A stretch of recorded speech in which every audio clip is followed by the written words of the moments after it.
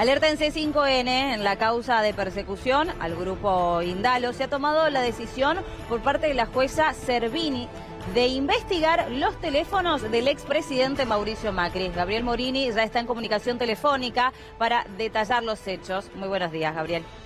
Muy buenos días, así es correcto. La jueza Servini dispone un amplio peritaje respecto a los llamados, en realidad un desglosamiento muy profundo de llamados en los teléfonos del expresidente Mauricio Macri y varios de los integrantes de lo que se conoce como la mesa judicial. Eh, estamos hablando entre ellos de José María Torero, de Nicolás Capunto, de Fabián Pepín Rodríguez Timón, de Mario Quintana, e inclusive también de Javier Iguarcel y del propio titular de la AFIP, Alberto Abad, además de su sucesor de Andrés Puccioli. ¿Qué es lo que quiere establecer la jueza con esta medida que encarga y respecto eh, de a la Judeco, eh, precisamente para que realice este informe pormenorizado en determinadas fechas entre 2018 y 2000, eh, perdón, 2016 y 2019. No, 2019, correcto. Sí.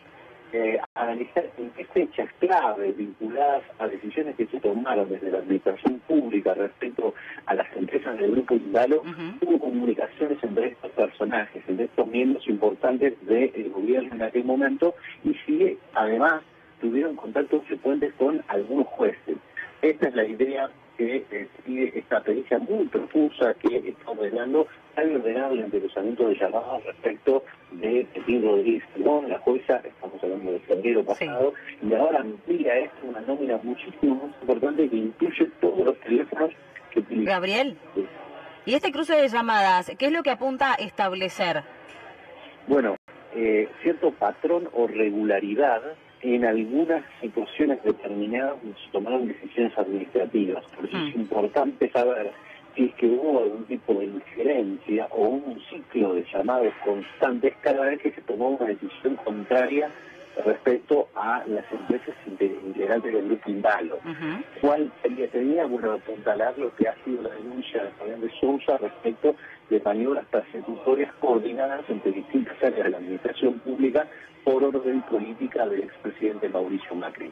Si se estableciese que así fue, que hay un ciclo de llamadas y que hay contactos frecuentes en el mismo momento, mientras están sucediendo eh, medidas contra eh, lo que era el invitado, se podría establecer un direccionamiento político a todo lo que fue las maniobras de distintas áreas eh, del gobierno que apuntaban a menoscabar a las empresas Grupo Indaro, puntualmente a dos en particular, el combustibles y una de las que tenía la licencia para explotar el sistema de peaje. Muy detallado es el informe que pide Servini, sorpresivo me porque es la primera vez que eh, una jueza ordena que se establezcan a qué número llamaba al expresidente Macri y con quiénes se vinculaba en determinadas fechas en particular, inclusive 10 días y 10 días posteriores de la fecha que marca, con lo cual es muy, muy eh, amplio eh, el abanico de medidas que ha dado la jueza.